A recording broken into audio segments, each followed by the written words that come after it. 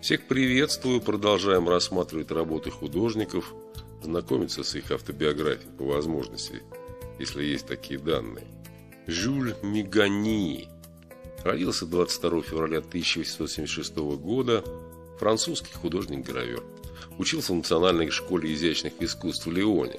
Затем стал учеником Жана Батиста Понсе, перешел к Леону Боне в Париже и в ателье Эжена Карьера. Получил премию Абд-эль-Ти в 1909 году и работал в частности с Леоном Карре, Полем Жиуэ, Шарлем Дюфеном и Леоном Кавей. Из-за слабого здоровья покончил жизнь самоубийством 5 июля 1929 года, написав «Я пожертвовал всем ради искусства. Оно убивает меня».